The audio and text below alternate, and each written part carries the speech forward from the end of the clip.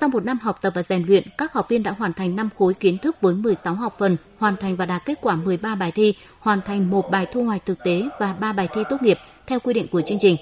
Cuối khóa học có 102 học viên được xếp loại giỏi, 146 học viên được xếp loại khá, một học viên xếp loại trung bình. Thông qua khóa học, các học viên đã được trang bị những kiến thức về chủ nghĩa Mark Lenin, tư tưởng Hồ Chí Minh, quan điểm đường lối của Đảng, chính sách pháp luật của nhà nước, những vấn đề lý luận và thực tiễn mới. Đồng thời, các học viên cũng được trang bị một số kỹ năng lãnh đạo, quản lý nghiệp vụ về công tác đảng, chính quyền, từ đó nâng cao năng lực tổ chức thực hiện nhiệm vụ được giao.